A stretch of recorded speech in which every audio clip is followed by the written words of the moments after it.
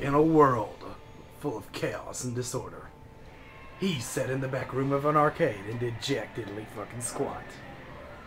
He drank his drink and sat there, and sat there, and thought about fucking 16 year old girls.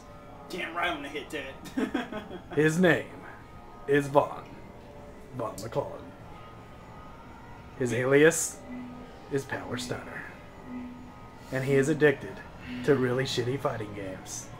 Coming soon this fall. Fuck you, Vaughn.